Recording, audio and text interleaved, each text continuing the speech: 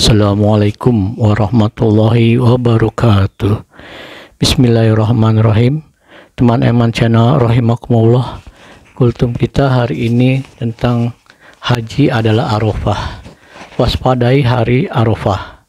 Bukan hari untuk beberes rumah, belanja, tidur, atau istirahat. Ia adalah hari agung dan mulia. Bahkan Allah menyebut hal, hal ahli Arafah adalah penduduk langit. Hari pembebasan dari api neraka, hari ketaatan, hari mujahadah dengan ibadah, dan waktu yang paling agung untuk berdoa adalah hari Arafah. Berusahalah memenuhi hari itu dengan ketaatan atau takarub pada Allah.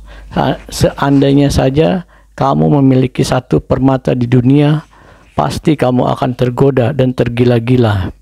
Apakah apatah lagi jika kamu memiliki satu hari paling baik di dunia? Jika Lailatul Qadar tidak diketahui kapan waktunya, sedangkan hari Arafah diketahui pasti kapan ia adanya. Jika pada malam Lailatul Qadar malaikat turun, sedangkan hari Arafah Allah langsung yang turun, maka manfaatkan sebaik-baik sebanyak-banyaknya kesempatan dan berusahalah semaksimal yang kalian bisa dengan jadwal istimewa pada hari Arafah. Kirimkan pada orang yang kalian sayangi karena ia hanya sehari dalam setahun. Pertama, tidur lebih cepat agar bisa maksimal beribadah esok harinya. Kedua, bangun sebelum subuh untuk sahur dengan niat puasa Arafah. Ketiga, sholat minimal dua atau empat rakaat. Mintalah kebaikan dunia akhirat dalam sujud. Perbanyak tahmid, berharap Allah menyampaikan kita pada hari turunnya rahmat dan ampunan Allah Subhanahu wa taala. Keempat, perbanyak istighfar sebelum subuh sampai Allah menetapkan kita dalam golongan yang bertaubat di waktu sahur. Kelima, bersiap berwudu lima menit sebelum azan subuh. Resapi dan rasakan dosamu berguguran bersamaan dengan aliran dengan aliran air wudu. Keenam, berdoa setelah berwudu. Ketujuh, sholat subuh. Kemudian berdiam dirilah di musola sampai waktu syuruk atau sekitar 15 sampai 20 menitan.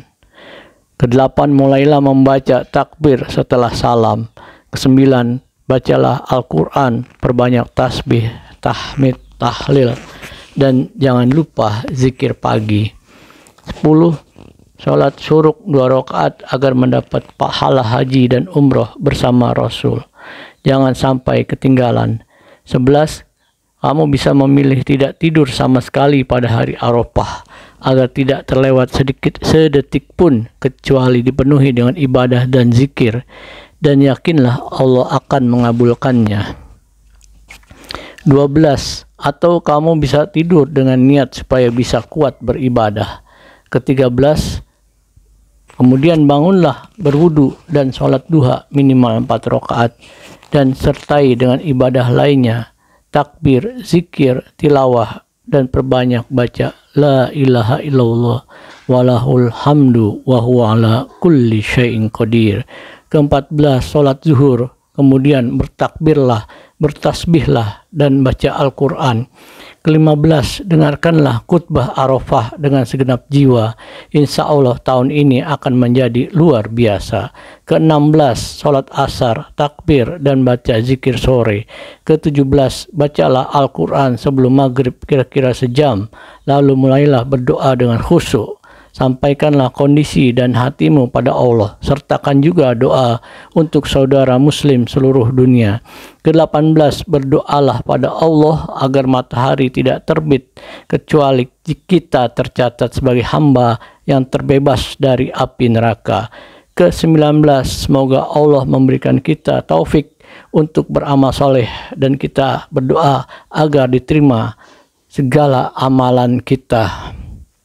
Jangan lupa memberikan mengingatkan keluarga dan orang tersayang. Semoga Allah jadikan kita sebagai orang yang diterima amalannya dan dibebaskan dari api neraka.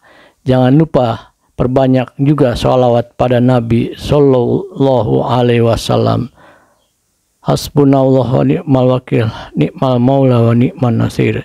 Subhanakallahumma wa bihamdik, asyhadu an la ilaha illa anta, astaghfiruka wa atubu. Semoga bermanfaat. Assalamualaikum warahmatullahi wabarakatuh. Sobat teman Aiman, jika ada yang menambah silahkan di kolom komentar.